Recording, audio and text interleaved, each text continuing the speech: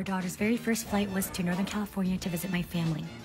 We took our Bugaboo butterfly stroller that fits right in the overhead bin, and I took my Artipoppe baby carrier with me so she could nap while we wait to board.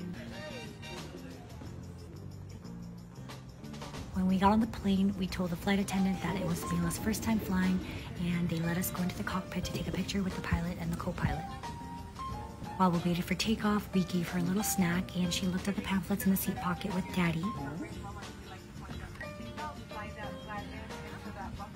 Takeoff, I breastfed her, and for the rest of the short flight, we played with toys. When we got to the San Jose airport, we got our luggage and went to the hotel to get ready to go meet Grandma and Grandpa.